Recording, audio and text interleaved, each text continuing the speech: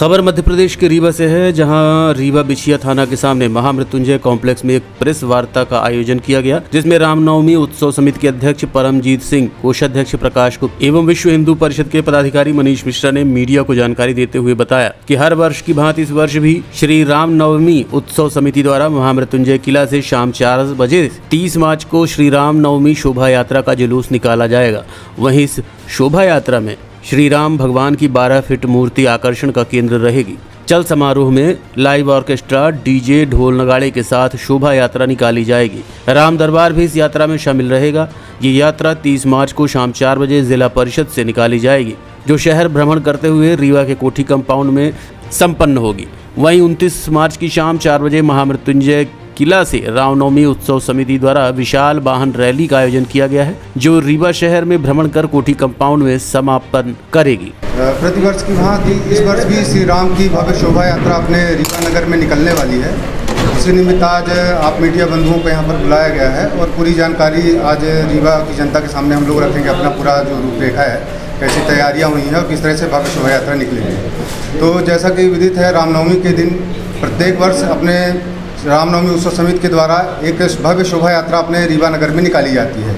इस वर्ष भी उसी की, उसी दिन, रामनवमी के दिन भव्य शोभा यात्रा निकाली जाएगी, जिसकी तैयारियाँ लगभग दो महीने पहले से हम लोगों ने तैयार कर दी थी। समिति के अध्यक्ष परमजीत जी को बनाया गया है, उनकी ही अध्यक्षता में यह शोभा यात्रा निकाली जाएगी। और हमने इस वर्ष लोगों से आग्रह किया कि जैसे कि, जैसे ही नववर्ष, क्योंकि हिंदू नववर्ष अपना चैत्र नवरात्रि के दिन से शुरू होता है, चैत्र प्रतिपदा के दिन तो सभी भाई बंधु अपने घर में झंडे लगाएँ, भगवा ध्वज लगाएँ और नए वर्ष का स्वागत करें, मानस कीर्तन करें। इस तरह से नववर्ष की शुरुआत होगी। उसी दिन से हम लोगों की तैयारियाँ व्यापक रूप से शुरू हो जाती हैं, आगे रामनवमी के दिन शोभा यात्रा निकालने के लिए। उसके लिए हमने समिति बनाई है, समिति में संरक्षक मंडल है, कोषाध्यक्ष हैं प्रकाश जी और समिति के उपाध्यक्ष हैं। ऐसी एक समिति बनी हुई है। उस समिति के माध्यम से ये शोभा यात्रा निकाली जाएगी।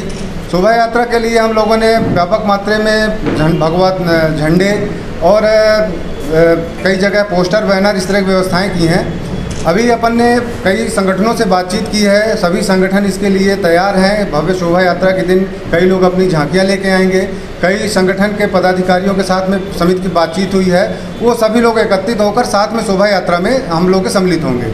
हम लोगों ने एक समिति के माध्यम से प्रत्येक वार्ड में ऐसी व्यवस्थाएँ बनाई हैं कि घर घर जाकर लोगों को पीला चावल के साथ में आमंत्रण पत्र दिया जा रहा है। चावल के साथ में आमंत्रित किया जा रहा है कि परिवार सहित वो शोभा यात्रा में सम्मिलित हों।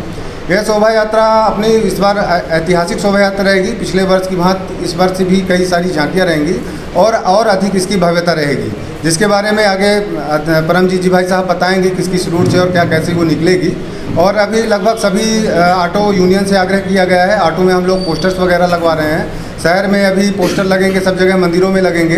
ध्वज लगेंगे पूरे शहर में और पूरा अपना शहर जो है, भगवा में हो जाएगा। आगे की जानकारी परमजीत जी आगामी उनतीस मार्च बाइक रैली, जागरूकता रैली और 30 मार्च भव्य शोभा यात्रा निकाली जाएगी।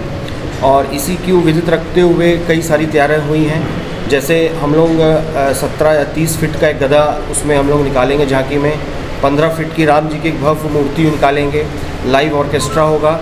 और समरसता को देखते हुए कई अदर जितने भी हमारे समाज हैं, उनकी भी एक एक झांकियों का हम लोग प्रयास किया है कि इस बार वो भी सम्मिलित होंगी। और साथ में जो हमारी बाइक रैली उनतीस तारीख को निकलेगी, वो एक हम संदेश देंगे कि आप ज़्यादा से ज़्यादा संख्या में शोभा यात्रा में सम्मिलित होइए। हिंदू धर्म का त्यौहार है।